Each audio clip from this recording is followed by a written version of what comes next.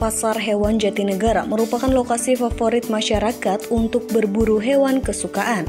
Meski dalam situasi pandemi, pasar hewan ini ramai dikunjungi warga, terutama pada hari libur.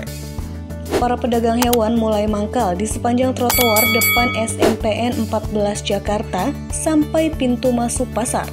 Pasar hewan tertua di Jatinegara ini tak hanya didominasi oleh pedagang burung, Rupanya, berbagai jenis hewan banyak dijual di pasar ini, mulai dari kelinci, ikan, kucing, hingga ular.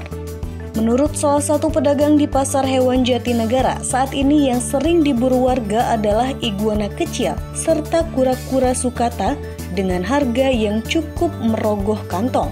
Ini yang paling mahal sukata nih, itu sampai lima ribuan harganya yang diminat ini kebanyakan orang suka ta yang gede sampai yang kecil ya yang ukuran sampai 6 cm 5 cm guana ya guana yang paling mahal sampai 3000 sampai 2500 Sementara menurut Leonardo, salah satu pembeli di pasar hewan Jatinegara mengatakan, saat ini ia sedang mengoleksi burung dara yang ia beli di sini. Tak hanya itu, ia juga menambahkan hewan peliharaan lainnya yaitu sugar glider. Sebagai informasi, sugar glider yang dulu sempat banyak digandrungi anak remaja hingga saat ini masih tetap eksis. Sebelumnya, harga satu sugar glider dipatok mulai dari Rp400.000. Namun saat ini, harga satu hewan sugar glider sebesar Rp300.000. 2020. Berarti tahu dua tahun yang lalu ya? Iya. Sukanya hewan apa? Hewan tugu glider sama burung dara. Sama siapa kalau ke sini? Sama bapak sama ibu.